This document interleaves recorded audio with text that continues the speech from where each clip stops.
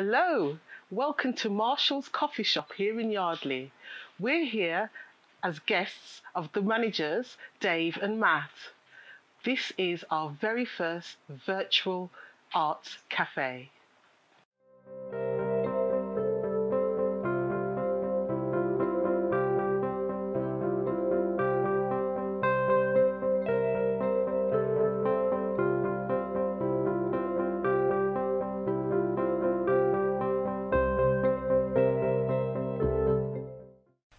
Virtual Arts Cafe is part of the Building Community Together project. The Virtual Arts Cafe has a project that is going to be focusing in and around the Acocks Green area of Birmingham and specifically targeting the Stockfield estate. So if you live in that area, this project is just for you.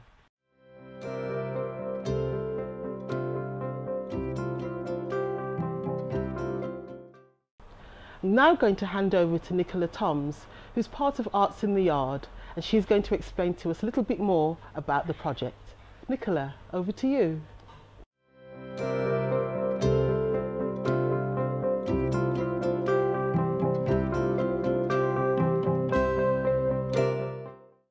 Hello, welcome to the first edition of our virtual arts cafe. Stockfield Community Association, along with partners Birmingham Playcare Network and Arts in the Yard, have been working across Acocks Green for several years. Together, we have delivered tea dances, play in park sessions, heritage sessions in care homes, sports sessions for young people, and a whole host of community events.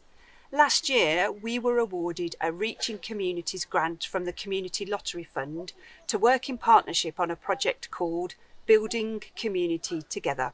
This five year project focuses on realising the aspirations of residents not just on the Stockfield estate but in the wider Acocks Green area. Myself and the wildlife at Westley Vale Millennium Green are really excited to share the project elements with you over the coming months. Arts in the Yard had planned a monthly community get together, an arts cafe similar to events in other parts of Birmingham. And we were due to launch at Easter 2020, but COVID 19 had other ideas. Instead, we have been working with residents on a home gardening project. Hello, my name's Gary. I'm from Inspired Steps Community Interest Company, and I'm here today at Oasis Hubmore Community Centre as part of the Arts in the Yard Building Communities Together programme. We're going to be delivering vegetable and flower packs out in the community. You'll hear more from me later.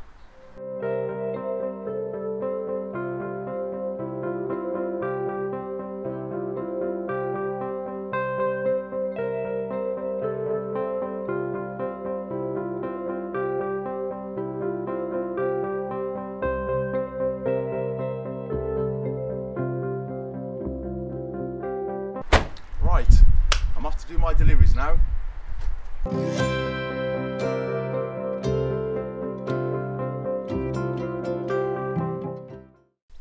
More on that later. And now we are able to launch our monthly arts cafe in a slightly different virtual format. Although we can't come together as a community at the moment, we hope you will be inspired and get involved in activities at home and in your neighbourhood in other ways. And we hope you enjoy the show. Along with Nicola, Emma and Daphne are also part of this project, so we'll be hearing a little bit from them throughout the show. We're now going to hand over to Charlie, who's going to tell us how she's found the Green Growers Project.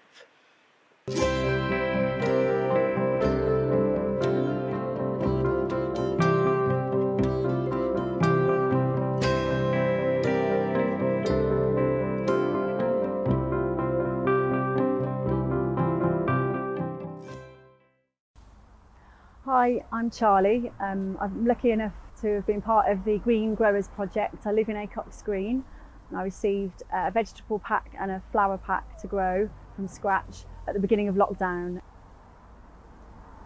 I found it really, really beneficial and really helpful. Um, I just lost my cat of 20 years and had to have him put to sleep and I was feeling a bit sad and it gave me a reason to come out into the garden every morning, uh, check on my plants which um, I didn't think I'd be able to grow at first. I didn't have any beds or anywhere to plant them. And my partner kindly offered to build me some planters, even though he doesn't know how to do that either. So we were learning from scratch in, in every way. Um, there was a few mistakes made, but um, we seem to have got there and I'm, I'm reaping the rewards now and I'm getting to enjoy the flowers. And the vegetables, we've been eating a lot of kale, a lot of lettuce, um, and it's just a really pretty to look out in the mornings and, and see all the beautiful flowers. In my pack I received uh, cabbages, which are coming along really nicely. I'm having to battle with the butterflies, the cabbage whites, funnily enough. Um, I made a makeshift cover for them with mesh and some bamboo that was growing in my garden. So I'm waiting for those to be ready to pick. Um, and then we've got some lettuce, which we've already started eating because it's pick as you go kind of lettuce, which means you can take take pieces off and have some for lunch, and then some will grow back the next time. Got lots of carrots as well. They're going to be ready in September, hopefully and then we've been eating the kale as we've gone along as well.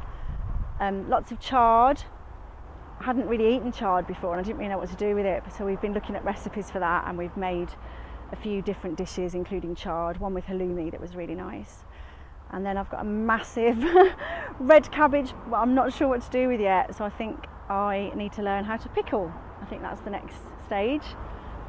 And this is my favourite view of the garden. It's the view from my kitchen window. So when I boil the kettle in the morning to make my cup of coffee, I get to look at all the beautiful flowers and I'm very grateful for the Green Growers Project.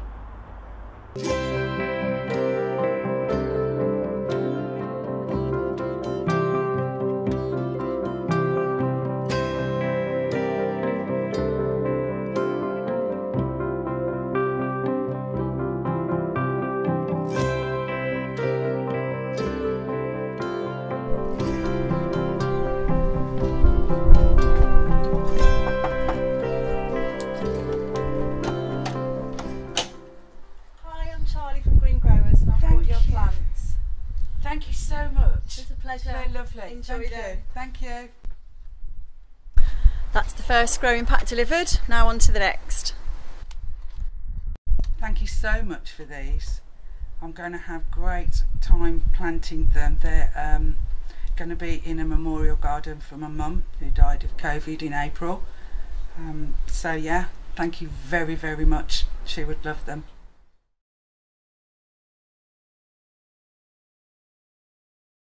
We're now going to hand over to Kelly, who's going to introduce some arts and crafts to us.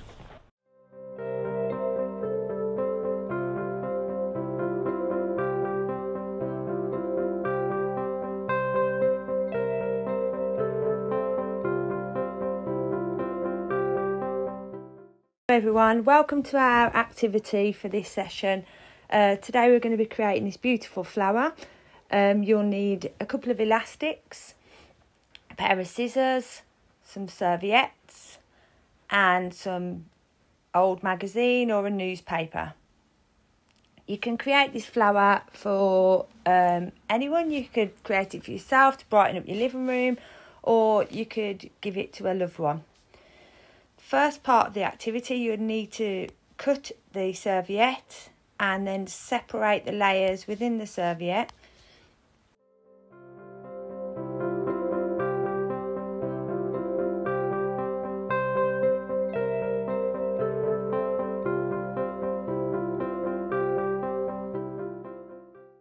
So you'll want to place the serviettes back on top of each other, each layer. Then you want to fold over a centimetre and then keep folding it down like a concertina until you get to the bottom, trying to keep it as neat as possible. Now you don't have to use a serviette if you don't have one. You could use toilet roll, kitchen roll as long as you separate all those layers so you're using as thin as possible as possible paper it will work.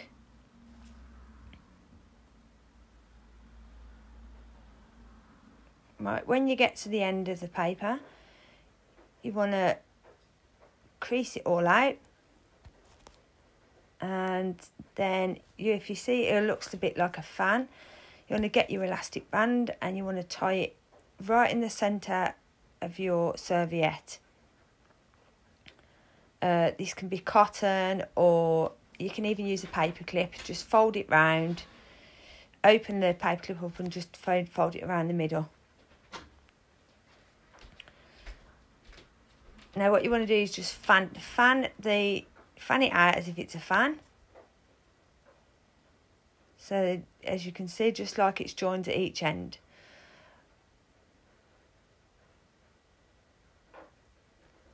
Just so you can position that elastic band correctly in the centre. Now, what we're going to do with this one before we open it out, we're just going to cut the ends. So to make your edges for your petals. So if you try and do that equally on both sides, but it doesn't matter if you're slightly out.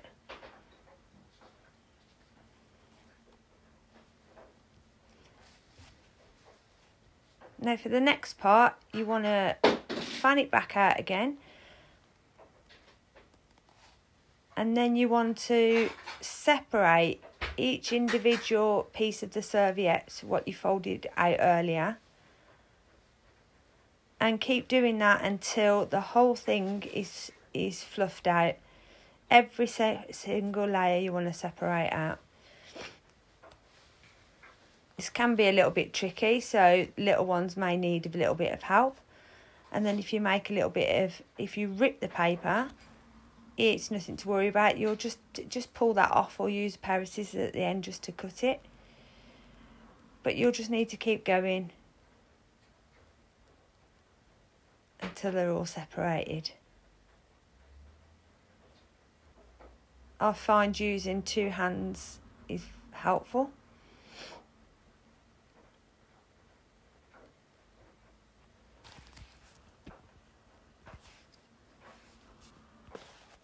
Once you get to the end of it, just if you pinch the bottom underneath as if you're holding the base of your flower and then just pull all the extra bits off.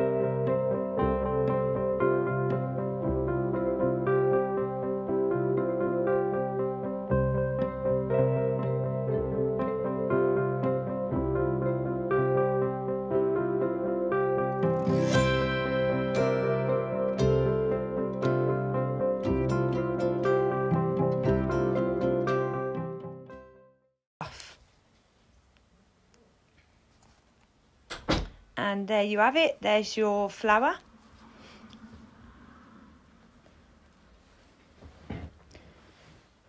now for the next part we'll need to make the stem.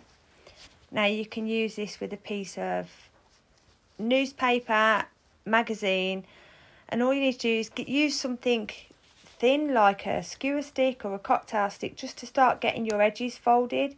And then you'll just need to roll the edges from the corner until you have a really tightly rolled stem.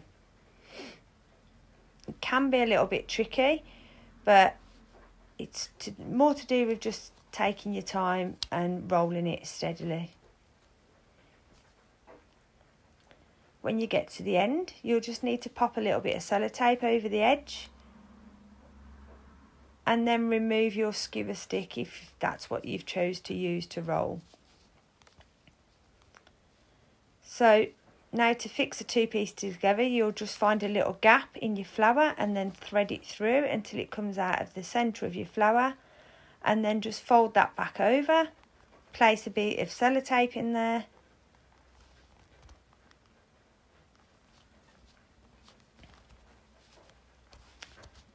To secure it and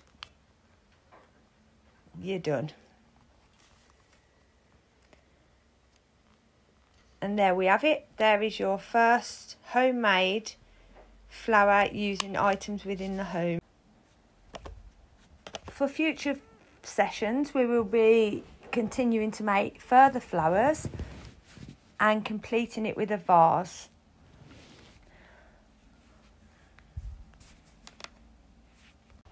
That's it for this session. But for, for next, next sessions, we're going to be creating different types of paper flowers and then we'll be finishing it off by creating a vase so that you can display your wonderful flowers in. See you next time. Bye bye.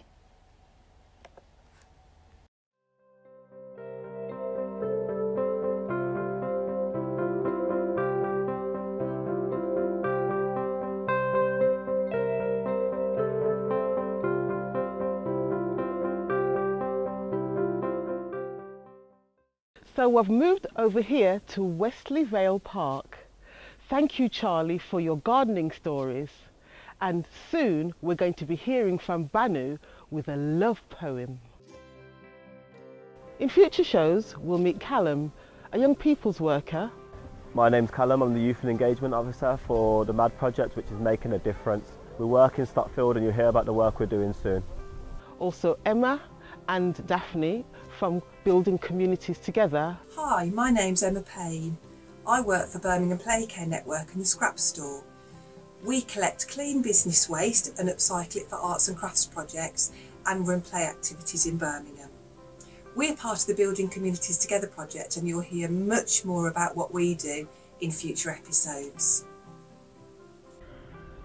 Hello, my name's Daphne and I work with Stockfield Community Association. I'm here on Cedars Avenue outside Stockfield Park and you'll be hearing more about the work that we do in the coming episodes. And we'll be getting a little bit more craft from Kelly.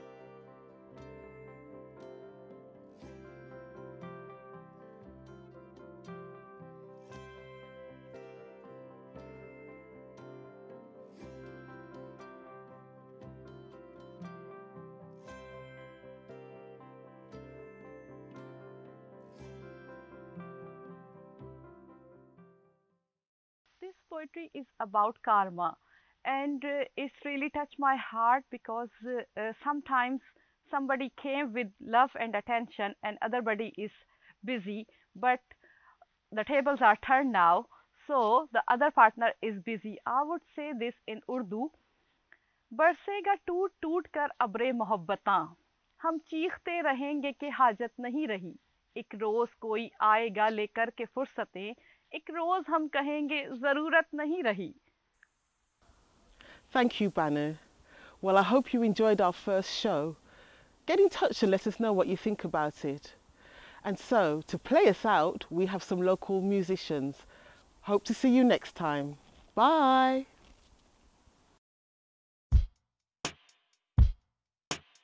If education is the key, the new change the locks. Booted out by the landlord, the rent you can't afford. Eviction note through the letterbox. If education is the key, the you change your locks. Breach the agreement, tenant eviction, not welcome no more, not getting a foot in the door. No access, judged by Osiris, like judging by the colour of the iris. Because just how we see the world, our interpretation. Imagine that situation. We can't take on any more students with brown eyes, promise to leave none behind, some don't even make it to the starting line. Hidden disabilities, secrets, like superhero identities, can't take off the mask or the cape. It's a genetic trait, same by day or by night. Didn't need a radioactive spider bite, lose our temper like Bruce Banner, have our fair share of kryptonite. Invisible disabilities, no one noticed, vanishing, disappearing like Griffin, hocus pocus. A classroom is where minds should thrive, not try to survive. Can't keep up with the mainstream current, brain in overload, heading for the rapids, stress, banging away on a desk like Morse code tapping. Joe, your spelling is appalling. Over silent classroom, the teacher yells. Then words ring long after the final bell. Then wounds still healing. When friends and family be visiting, I'd leave books and magazines open to create the illusion I've been reading. If you judge this book by its cover, make sure you read the about the author. Good luck trying to read my blurb.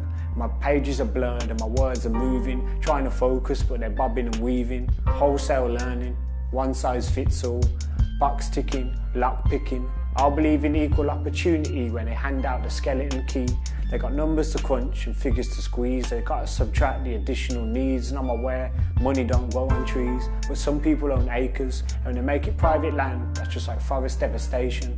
Sharpening the axe, making cuts like lumberjacks. The Chancellor said austerity is over, but we're still eating from the same leftovers, being shaken by the aftershock. If education is the key, then you change the locks.